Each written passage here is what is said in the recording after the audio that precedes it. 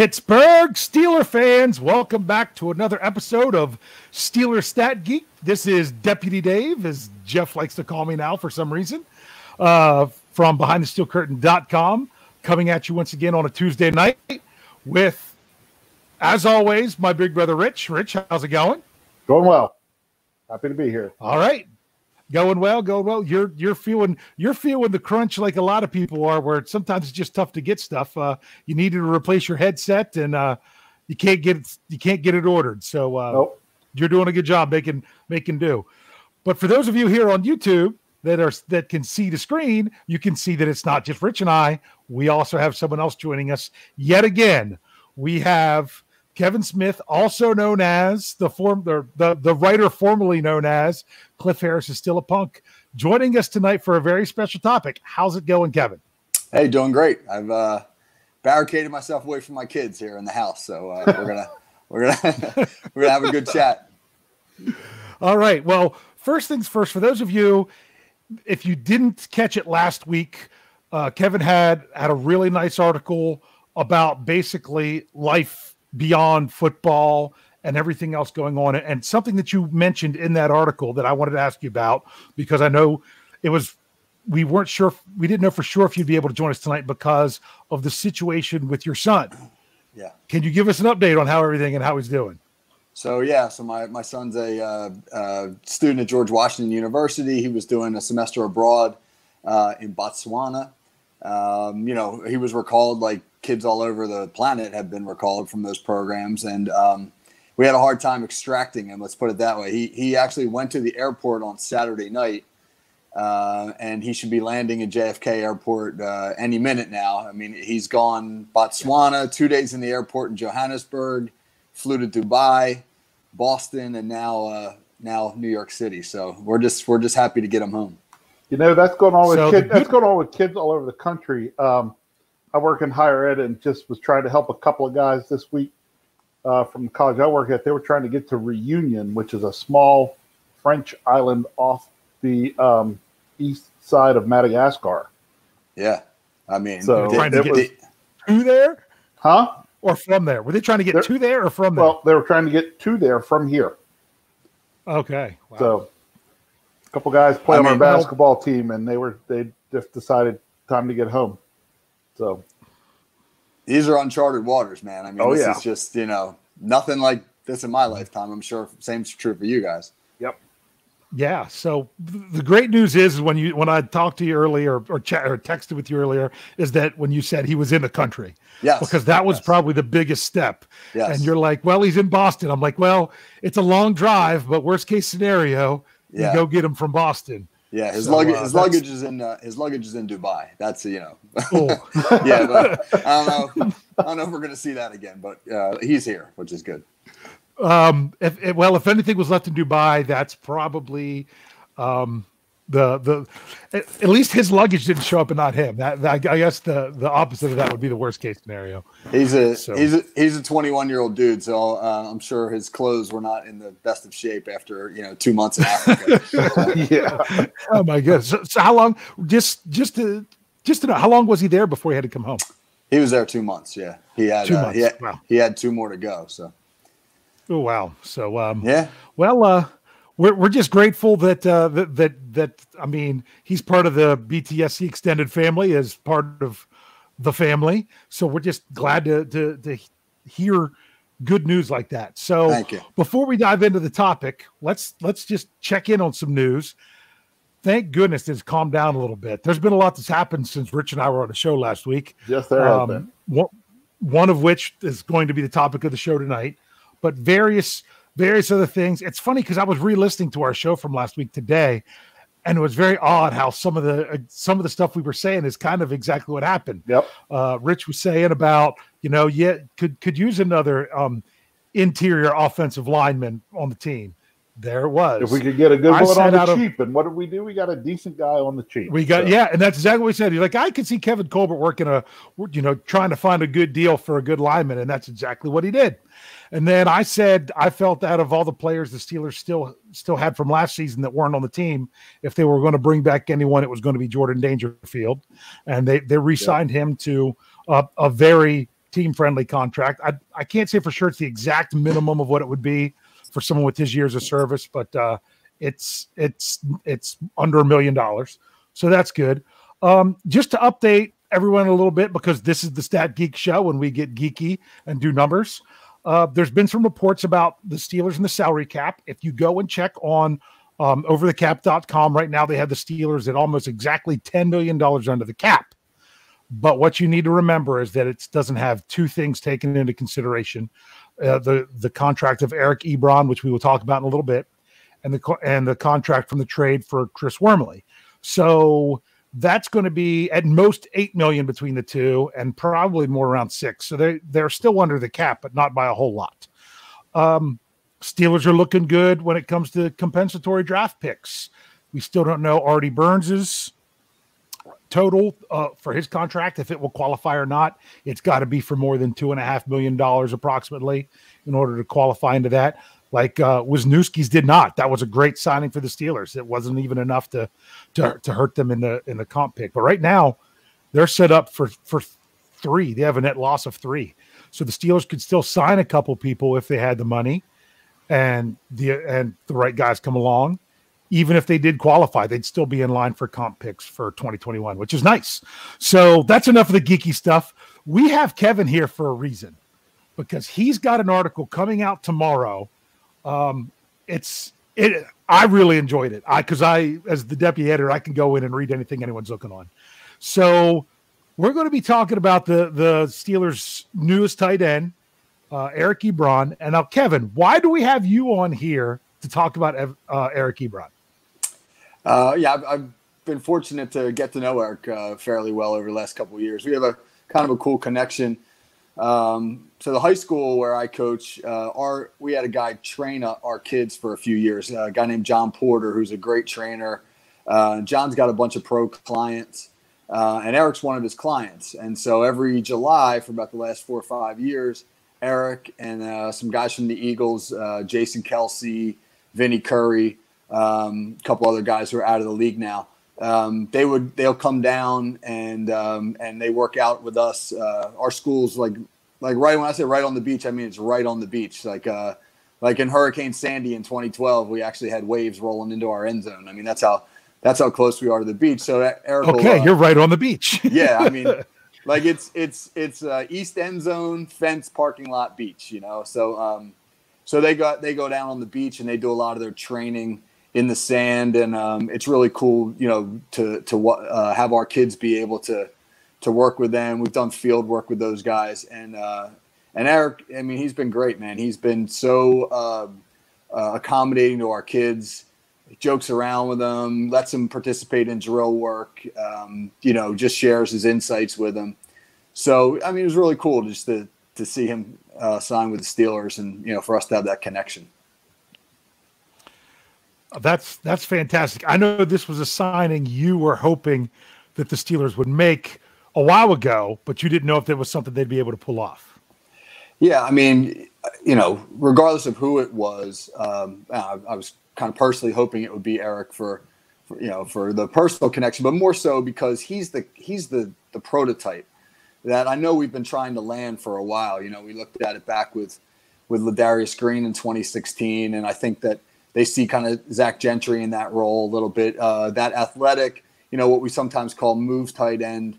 Uh, other teams, for other teams, a little more physical guys is an H back, but for us, it's a move tight end who can stretch the field vertically. I mean, that's really the big thing, man. If we if we can run more 12 personnel with McDonald as the strong tight end who can set the edge in the you know uh, as a blocker, um, and who can run more, a little more of the underneath stuff. We can get him the ball quick because he's a good runner with the ball in his hands.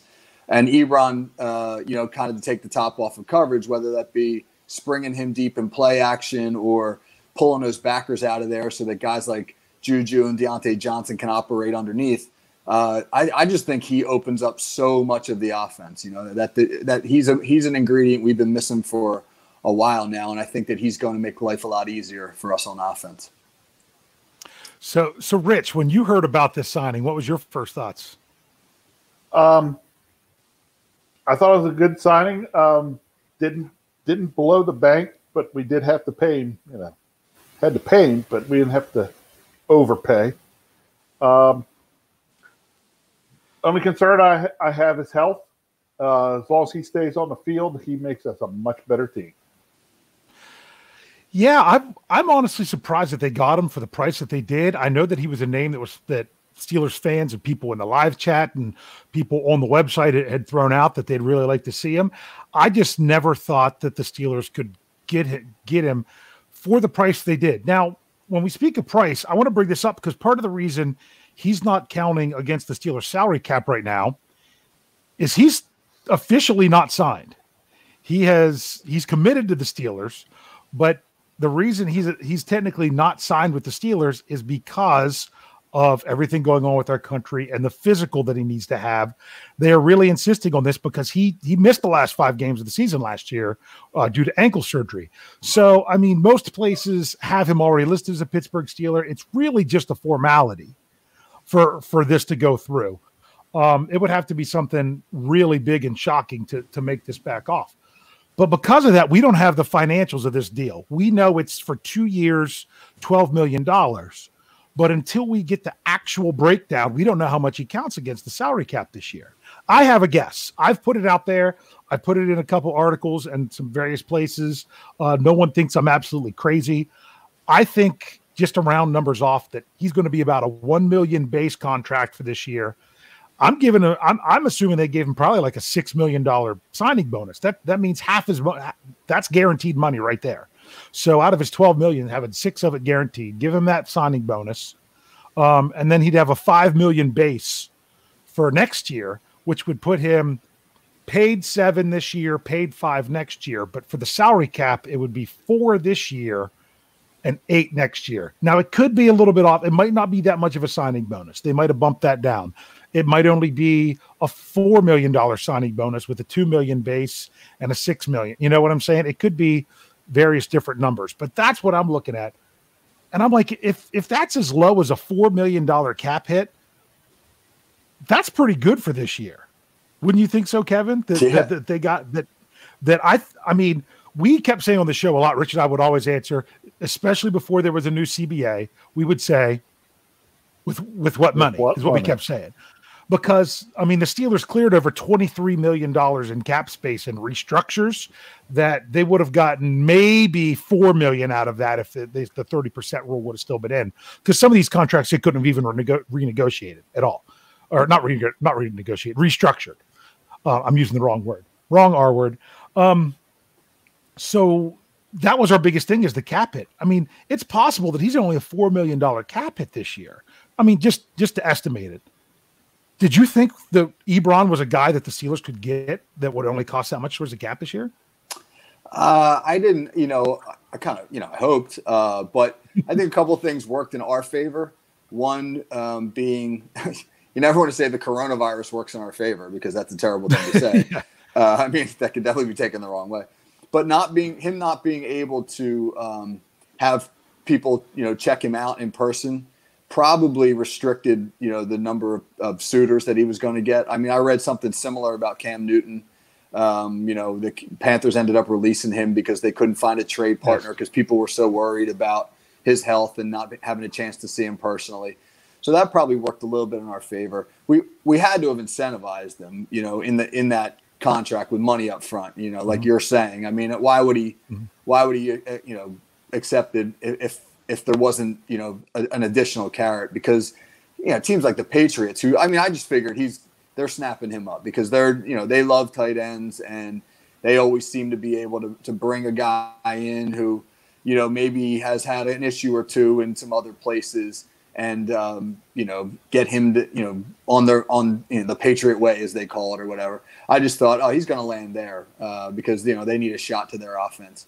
So um, I don't know, you know, again, I don't know what we incentivized him with, but um, I'm sure that it was something that was pretty convincing. And I think he's obviously smart enough to understand that uh, his he was at his best in his career when he played with Andrew Luck. Luck has always reminded me of a younger Ben Roethlisberger. I think that there's probably just the opportunity to play with Ben was was enticing for him as well. Yeah, I mean, right now you could say New England could grab him up, but who's going to throw him the ball up there? They don't even know.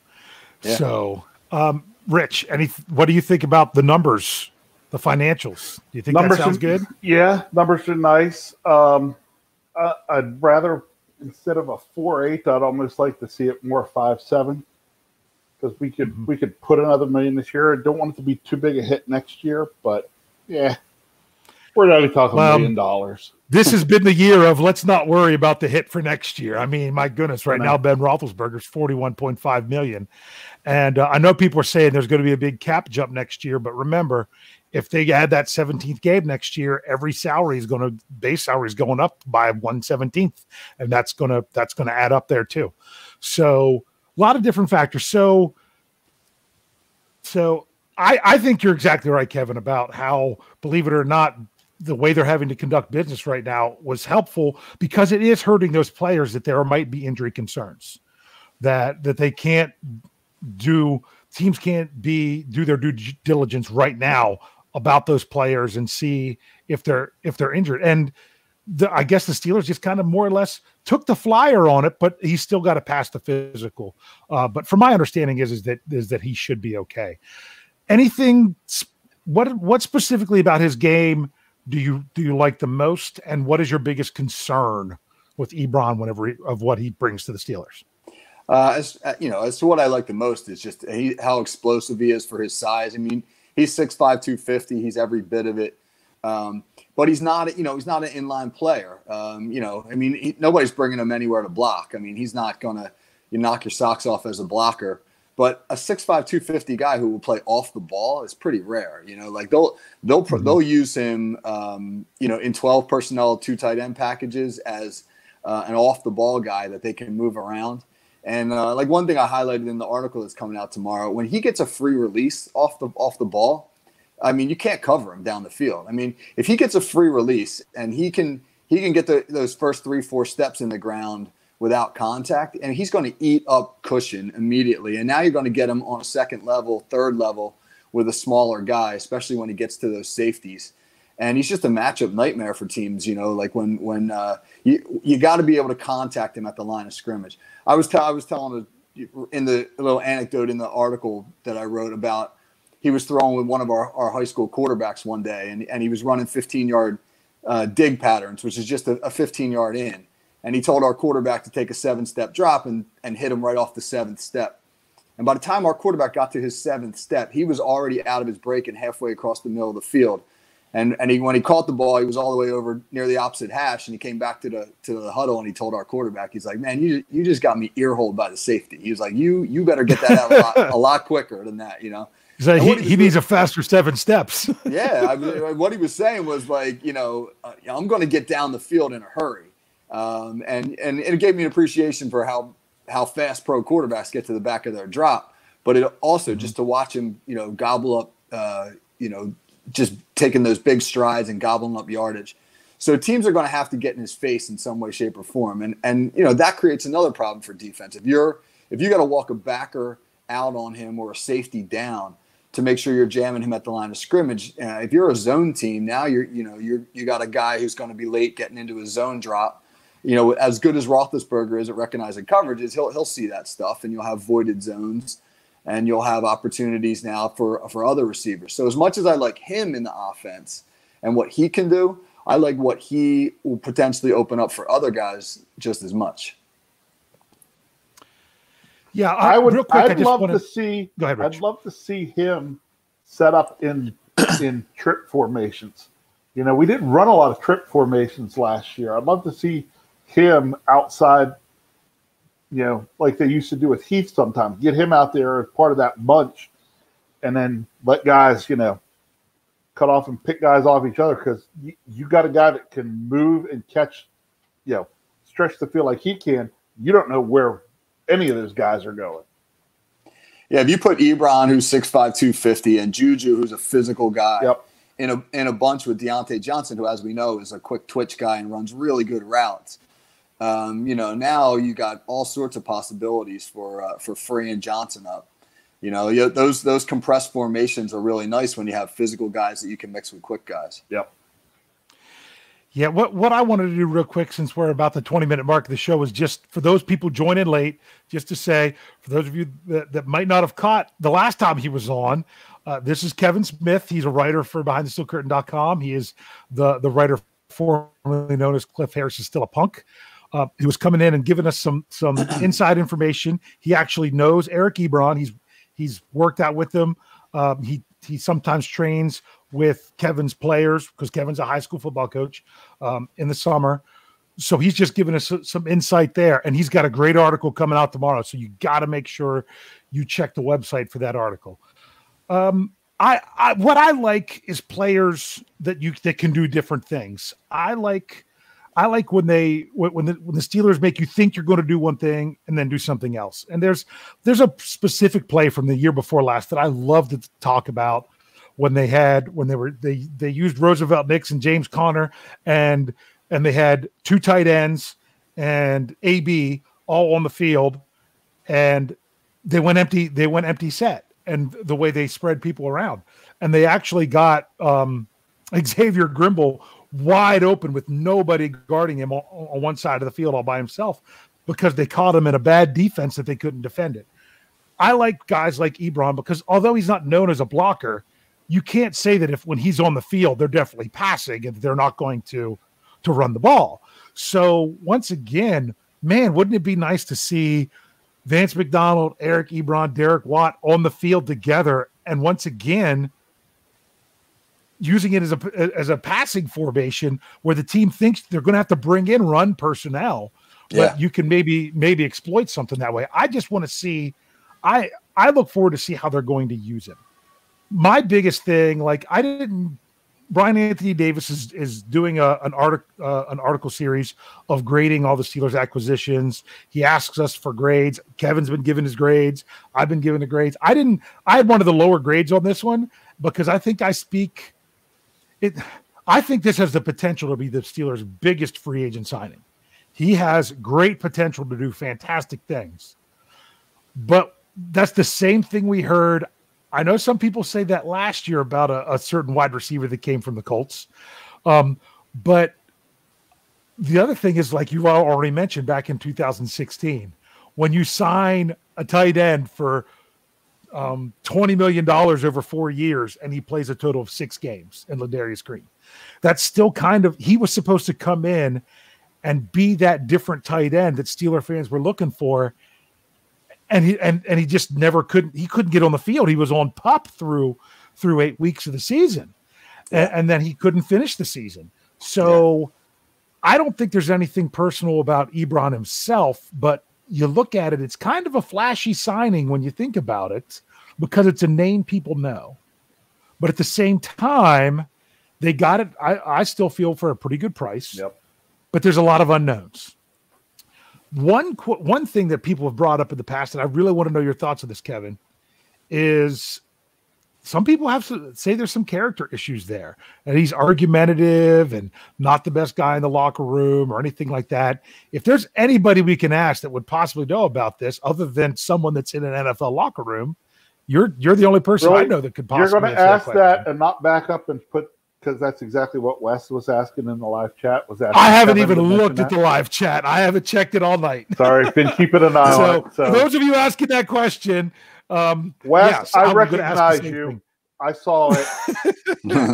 Thank you, Wes. All right, so so is is there any? I mean, do you any red flags that you've heard of, or I mean, not even that you have to go from your personal and from you know yeah. your personal contact. Just what are your thoughts on that on that in general? Sure, sure. I want to make sure I uh, back up and address one of the things that you you just said too about versatility, but mm-hmm. um, about, yeah, about Eric. I will tell you this, man he's a goofy guy. Like he's mm-hmm. uh he's got a he's quirky sense of humor. Like he jokes around a lot. Um, you know, he's like a little bit of a prankster.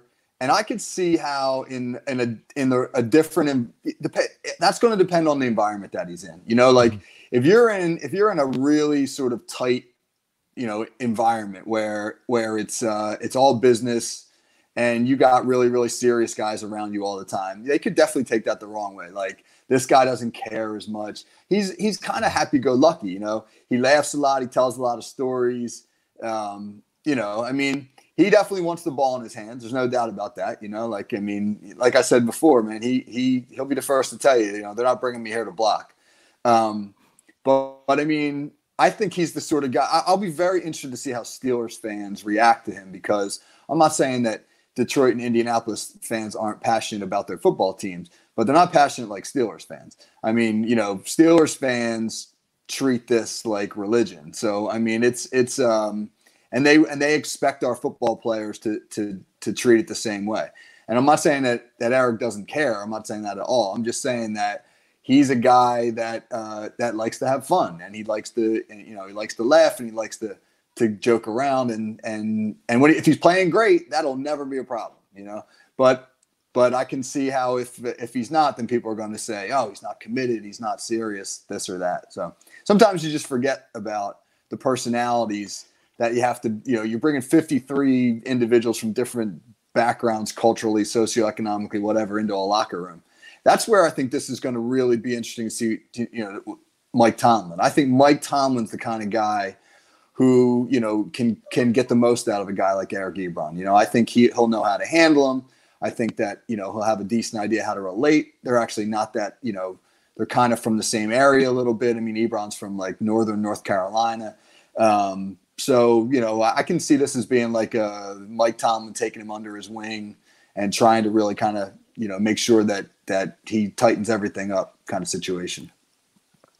That's a really good point. That's a very good point about that. So, um, uh, Rich, anything you want to throw in there before I good. circle back to Kevin? Nope, circle back. Oh, because you you said you wanted to to make sure we you got got to touch on the versatility thing that I brought up. Yeah, uh, you know, one thing about Ladarius Green is this. Granted, yeah, he only played six games, but um, in his six games that he played, Roethlisberger targeted him over six times a game, and he averaged almost 17 yards a catch in those six games. I mean, McDonald's only been targeted about four times a game, and Jesse James was targeted less than three times a game. I think if you give Ben Roethlisberger a guy who can get vertical, then he'll throw him the football. I mean, he he doesn't like to check the ball down. I mean, he, he threw a lot of you know that stuff to Le'Veon Bell because Bell was a great receiver, but you don't you you he wants to push the ball down the field or he wants to hit receivers that are on the move. And um, I think he's really going to appreciate having another move tight end, like you know we thought we all thought we had in, in Green. Um, and, in, in, terms of that versatility that you were talking about, um, man, t- double tight empty. That is that's a nightmare of a set for defenses. If you can go mm-hmm. double tight empty, um, and because you're forcing a defense to play too high, they have to play too high um, mm-hmm. unless they want to go man to man and just bring the house after the quarterback. But Roethlisberger, we know he's good against the, against the blitz. Uh, and if you're going to go too high with with now two tight ends on the field, you got all sorts of matchup problems underneath. Uh, and the other thing you mentioned is is Derek Watt. I mean, I think that's fascinating now to have Watt and Ebron because of the position versatility that that brings. I mean, Watt can play some tight end, and the Chargers actually, you know, they liked him at tight end in the limited snaps that he got there kind of like an H back, right? Yeah. So I mean, you might see you might see sets where you have McDonald and Watt. You know, McDonald is your strong tight end and Watt is your fullback, and then Ebron mm-hmm. split wider in the slot with Juju and Johnson, or you know, and that's boy, you got some, you got some, you got run strength and pass strength on the field at the same time, and that creates problems for defenses. You know, they got to make a decision. You can't you can't defend at all. Exactly. Like last year, every time we saw 72 eligible, we knew that there was a 98% chance they were going to be running the ball. So that's just what they did. So hopefully that won't be the case this year. You brought up a really good point, and I didn't even think about that. And you're right, because Ladarius Green had 34 targets in his six games. 34 targets in six games. Um, now he had 18 receptions from that, and he only had one touchdown as a Steeler. But but that's that's interesting. I, the some people were questioning because Ebron had a fantastic year in 2018 and then a drop off in 2019. I have my own theory. I want to ask you guys if you have any thoughts about that before I throw my theory out there. Um, Rich, do you want to? Do you have anything? Do you know much, or, or do you have any thoughts about that first before we let Kevin say anything? Start with Kevin. we'll start with Kevin. I don't. I don't think he was healthy. I mean, he he didn't mm-hmm. last last year was the first summer in five since he's been a pro. So what's that? 2014. So that, that last year was the first summer he didn't come down to the beach to train with us because he was rehabbing an mm-hmm. injury. So he was so he was rehabbing an injury in the summer which means he probably wasn't quite 100% when the season starts. And then he gets hurt during the year. Um, you know, and, and then, you know, I kind of had a dispute with the Colts about how to handle that going forward. So, you know, I mean, and then obviously with Luck retiring, I mean, when did Luck retire? August? You know, like how much, how, yeah. We, we, had, you know, we think we had a difficult quarterback situation. I mean, imagine theirs. Now, granted, they had a they had a more competent backup in Jacoby Brissett. Yes, but it's really hard to re, you know, like rebuild your offense around the the next guy on the fly like that, so close to the season. I don't know what kind of chemistry Ebron had with Brissett. Maybe it wasn't so great. Uh, combine that with the health issues, and and you know, I think you know, I'm not make, trying to make excuses, but I think at the same time, you can understand a little bit for the drop off. Yep. Anything you want to throw in, Rich? You going to reiterate what Wes put in the live uh, chat? yeah. Wait, wait, a minute. What you put in there, Wes? Um, no. Um, he, I think getting to see Eric Ebron, the biggest thing I think is going to play a part for Eric Ebron is not just how he is doing health wise and, and his play on the field, but Ben Roethlisberger's as well. Gotcha. How does Ben come back from, yeah, his elbow issue. If we get the Ben we're used to, and we get, yeah, I, am not so worried. I, I think, mm-hmm. I, I, think it goes great and ends up being, you know, a good move for us. Yeah. Um, I, I, do too. I'm not super concerned about the drop off in 2018, and and, and here's I'm why. Not. Here, here's here's the biggest thing, and and Kevin, let's let's see if you can agree with this. Jack Doyle that's the number one. That's the number one tight end for the Colts. Oh, Jack, Jack Doyle. Jack, oh, Jack yeah, and in 2018, see 2017, Jack Doyle was a Pro Bowler. 2018, Jack Doyle got hurt. He only played in six games. Forgot about and that's, that. And Eric Ebron had 13 touchdowns. You know, playing in 16 games. So he kind of benefited because not. I mean, granted, he, when you combine the numbers of Doyle and Ebron in 2018, 2019, 2019's less. I think that has to do a lot, a lot with quarterback play. But in 2018, when you had the good quarterback and he was the option um, more than Doyle, Ebron was the Pro Bowler. Yeah. But then last year, guess what? Jack Doyle's back, plays in all 16 games, and Jack Doyle's a Pro Bowler in 2019. And Ebron saw saw his numbers drop because of injury and because of another tight end. I don't know that people th- realize that so much is that 2018 he kind of exploded, but he was the only guy they they had at the time, and he had Andrew Luck throwing the ball, and you're and he's not having to split it up really between two tight ends. It's basically all you. No, no wonder it, he exploded. I don't expect him to have 2018 numbers. I mean, he had 13 touchdowns. The the the franchise record for touchdowns in a season by a Pittsburgh Steeler tight end is eight by Heath Miller. I mean, you've never seen the Steelers never seen anywhere close to that um, as touchdowns from a single tight end in a season. So I I could see there was some discussion because I I did an article today of okay if the season if if the Steelers couldn't make any more roster moves, including the draft, who's their starting lineups right now? And I listed McDonald and Ebron, and I put an asterisk there, and it just happened to be on Ebron that I'm like, depending on the formation, whether it be you have two tight ends or you have three wide receivers, because I listed three of them, and I listed a fullback. It's all going to depend on the the formation of who's on the field. I don't know even between the two tight ends which one I would call a starter. because if they're going to start off coming out and trying to run the ball, it's probably going to be McDonald. If they're yeah. going to come out on the first play and try to spread it out, it's going to be Ebron. So I don't know that being the starter is that important. No, I don't think so either. It's kind of like sub packages on defense. You can you can exactly you can say that we're we're a three four defense and that we have you know Javon Hargrave was a starter or whatever you want to you know who, what, whichever those three to it whatever. But um, yeah, but I mean, how many snaps do we play in two four five personnel? You know, more than more than half. Yeah. So uh, yeah, I think we're going to you know have a ton of different personnel packages this year. I think that's one area too where we'll see Matt Canada's value is that he's he's uh, you know renowned for being able to uh, you know be multiple on offense and and uh, mix his guys.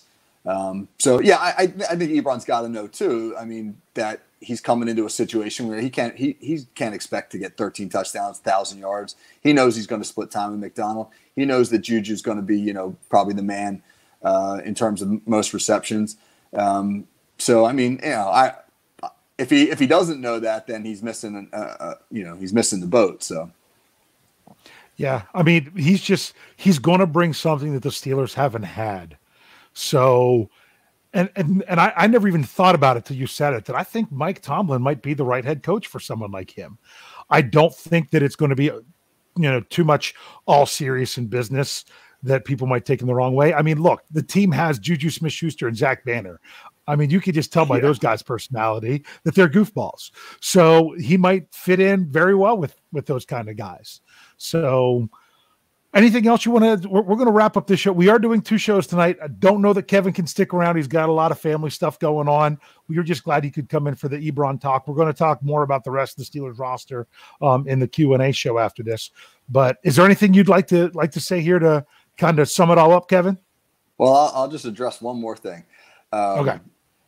he's going to drop some passes and behind this behind the yeah. steel curtain's going to go nuts. There's going to be posts galore about this dude can't catch, he's a bust, blah blah blah.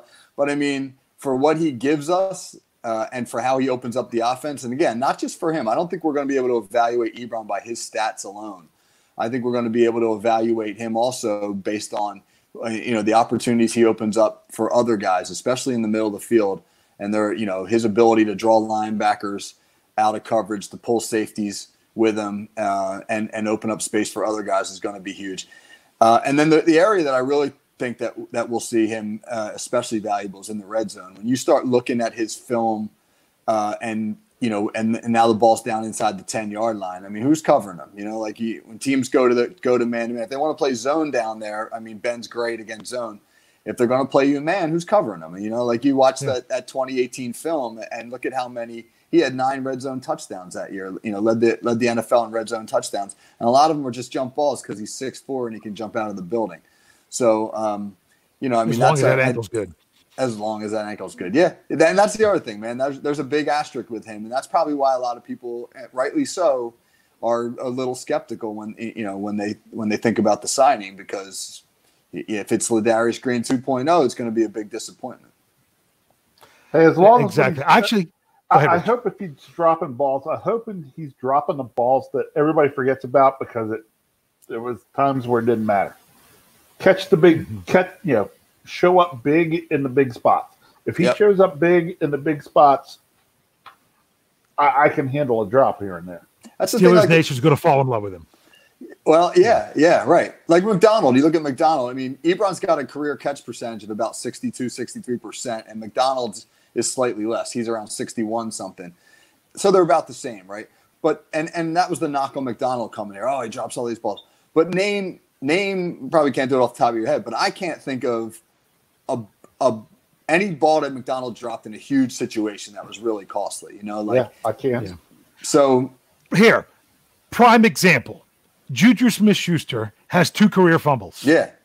Yeah. And we know look we, at where they, we, look at, we they were. But we remember them both. Yep. We rem- we remember he's known as a fumbler because of because of the key game changing situations in which they happened. Yep. Um, so that's what that's what Ebron. If he's going to drop passes, and that's exactly what I think Rich is saying. If he's going to drop passes, you can't drop you can't drop the passes like the balls that Juju fumbles.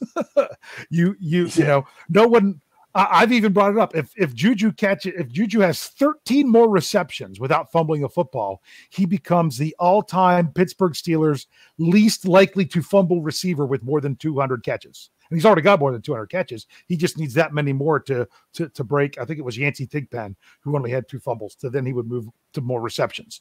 So he's really good at not fumbling the football. But that's that's not what we remember. And that's a great point about Ebron. I have two quick questions I want to ask you guys. Um, the let, us go with this one first. Other than Eric Ebron, if he is just on the field, and like you say, that the safety's having to pay attention to all that other stuff, what other Steeler is going to benefit the most from Ebron being on the field? We'll start with Kevin.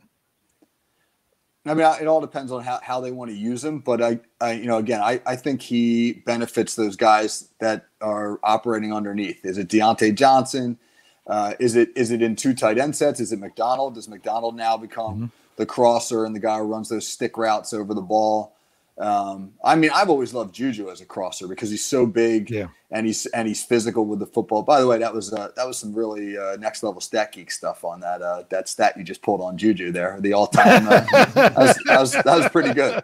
So uh, it's what I do. yeah. So so yeah, who I mean, I don't know who specifically, but I have a feeling where, and that where is going to be, you know, just I think Okay. we, we couldn't throw That's the ball in the middle of the field last year. Our quarterbacks could not read the middle of the field. And uh, and and Ben does it wonderfully, and now Ebron is going to give us more of an opportunity to operate there. Right. Rich, any thoughts on that? Someone who would benefit from I him just think- helping I out, just helping think- take the coverage off of people. I I think just adding another real competent receiver that they've got to worry about in the secondary helps Juju. Yeah. That's who I was thinking right off the bat, but I, I like what Devin Snowden said in the live chat. He's like, "How about Ben Roethlisberger? Just Yeah. having another weapon to throw to." Yeah, I mean, I, I think that's the obvious answer too. But yeah, um, someone like a Juju or a Diontae Johnson, I, I I think that's that's really good as long as they scheme it well. As they just got to, it, it gives you something else to scheme with, and that's what it seems like the Steelers were missing last year. This is the last thing for fun, and that is we're going to grade we're going to grade this free agent, but we're not going to grade it in the typical way. We're not going to grade No. it in A, B, C, D. We're not going to grade it in a number. We're going to grade it on a 2019 scale, on a 2019 free agent scale. Is what do you look for Eric Ebron? Is he a Steven Nelson signing that he comes in and then all of a sudden, wow, he's the man? Is he a Mark Barron signing, which is hey, someone who came in, you know, filled a role, didn't really need him to move on. You could almost say a Johnny Holton. You, you know, those two are interchangeable. Or is he a Donte Moncrief signing, you know, which is on the like, uh, like even worse than a Ladarius Green? That oh man, we're going to realize right away that this isn't this isn't right for the Steelers. So that's that's your that's your three ways to grade it. What do you think? Uh, I, I I can't imagine he's going to be a, Mon- a Moncrief signing. You know, I, I, Yeah. I, don't- I don't- for his sake, I don't want to imagine that. But um, Mm-hmm. I mean, I you know, I think a lot of it depends on his health. You know, if he's if he stays Mm-hmm. healthy, he could be a Steven Nelson type guy for for the way that he transforms the offense. You know, if not, I mean, he, he could be a guy that we say after two years, you know, hey, um, you know, it just didn't work out exactly the way we thought it would, you know. And a lot of that depends on Roethlisberger too. I, I think that those two are linked, like like Rich said before. You know, they're Roethlisberger's health is probably linked to Ebron's Yep. success in, in many ways. Okay. All right, Rich, what's your grade there? Well, there, there's two ways you could say this. He's, I, I think he's going to be, you know, a Barron plus or, or a Nelson minus. He's going to be right in mm-hmm. between the two somewhere, Which would be great. which which is exactly Yeah. what we're looking for. That's what we went out looking for in the signing. We don't need somebody that that blew our socks off as much as Steven Nelson. But I don't want you to become. There were times I felt Barron was out there and doing everything we needed him to, but you didn't notice him a whole lot. I want to notice Eric Ebron on the field. Yeah. Uh, that's that's a really good way to put it. I, I feel it was a loaded question, and I'm the one who loaded it, so I'm going to give a Dave answer. I think his I think his floor is is a Mark Barron signing, with his ceiling being a Steven Nelson signing. You know that that he's going to be somewhere in, in between. If he ends up being something like Mark Barron was, it was kind of a stopgap to something else. Um, it's going to be a little bit disappointing. That's that's going to say on the low end, but he could really come out and you can't almost say he's a Steven Nelson because you can't say make a name for himself because he made a name for himself in 2018. That's the difference here, and that's why people know him. Where Steven Nelson, I mean, a lot of Steeler Nation didn't even know who that was when they made that signing. So, I, I think it's th- th- there's a big separation there of what it could be. So I'm excited to see how it pans out um, with everything. Kevin, any final thoughts on just life or Steelers or anything in general before we let you go? Uh, I'm, you know, I'm just like everybody else, man. I, I don't know what's next. I'm just, I'm ready for things to to get back to normal. That may be a little while before that happens. I'm hoping that uh, that this doesn't disrupt, you know, Eric coming down again. And uh, I'd love to have the opportunity to talk to him and uh, and really, uh, you know, kind of relay some of his thoughts uh, at, at BTSC. And uh, who knows, man? Maybe we, we could even get him on the podcast. You know, I was gonna say he's welcome anytime he wants. so, yep. Yeah, if he's in if he's in the area, if he if he, if he makes it down again this summer, I'll, uh, I'll definitely hit him up about it. Uh, yeah. Now, does he does he know that you were a Steeler fan or anything like like that? Or? He knows I'm a fan. I actually joked around with him, like, "Man, when are you going to sign with the Steelers?" You know, but like, uh, but he has no idea that I contribute, you know, do any of this stuff. So, gotcha. You know, I mean, I'm just a, you know, I'm just a local football coach to him. So, you know, gotcha. Gotcha. So, all right. Well, we're we're going to call this a show. Make sure. Well, first of all, I got to give the whole spiel. Make sure you stick around. For those of you that are with us live on YouTube, we'll be coming back in about five minutes. Um, definitely, Rich and I. I think Kevin's got to step out to some other things. We're going to be talking about um, other other places on the Steelers roster. I know you. Some of y'all were talking about that in the live chat. So that'll be coming along um, between five and ten minutes from now for those of you listening on podcast form, that that podcast is going to release sometime on Wednesday afternoon. So if you're listening to this one Wednesday morning, uh, this one should be around in the afternoon. Make sure you are checking out behindthesteelcurtain.com. Like we said, Kevin's got the great article on a lot of stuff with Ebron coming out tomorrow morning. So make sure you're checking in there, um, getting that. Plus, we've got lots of other articles on various different things. We still got grades. We've got other news, other commentary, uh, all kinds of great stuff at Behind the Steel Curtain. And of course, we have our family of podcasts that are always coming at you every day. You should see Lance or hear Lance and Jeff tomorrow night live, back with a preview with myself and Bryan Anthony Davis and Jeff on Thursday. Lance on his solo show on Friday. Then we roll into the weekend with the burning question and the Homer and the Hater show with Jeff and Lance. And then we're back back to Brian and Tony on Monday all those guys do a great job on all their podcasts. So just make sure that you're always constantly checking in. We really want to thank Kevin for coming out and joining us again. Uh, what was that about? Was that five or six weeks ago you were with us? I, I, I can't. The world has changed so much since then. I can't no. even. I, I, can't even think about it. I it. say it was about so, five weeks. About yeah. five weeks. All right. So. Well, you let us know. You're welcome anytime you want to come back on. Um, I'm, I really appreciate you stepping in here with us tonight, and we want to thank all, all of you guys that have, that have tuned in with us to make sure that you continue to tune in, tell a friend, and subscribe. Thanks for geeking out with us. Thanks, you guys. Appreciate it very much.